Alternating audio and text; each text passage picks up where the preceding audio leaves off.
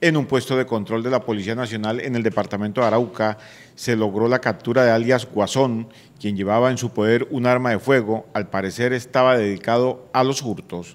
El Departamento de Policía de Arauca se permite informar a la ciudadanía en general que en el marco de los controles que desarrolla el Modelo Nacional de Vigilancia Comunitaria por cuadrantes, se logró la captura de un sujeto, alias Guasón, quien se le incautó un arma de fuego, un revólver calibre 38, en el sector del barrio El Porvenir.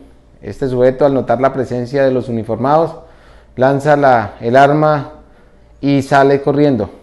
Gracias a la oportuna reacción de nuestros uniformados, fue capturado y dejado a disposición de la Fiscalía General de la Nación. El comandante de operativos de la Policía Nacional en Arauca, coronel Néstor Arevalo, dijo que alias Guasón estaba involucrado en la riña que se presentó en el barrio del Triunfo. Este sujeto, el 9 de agosto, se había visto implicado en una riña entre familias que se había dado en el sector del barrio del Triunfo, donde hubo eh, varias, varias alteraciones, entre ellas hubo disparos al aire. Es así que logramos la captura de esta persona que estaba perturbando la buena convivencia de los araucanos. Es una buena noticia y seguiremos trabajando en aras de llevarle más tranquilidad y mejor convivencia a todos los ciudadanos araucanos.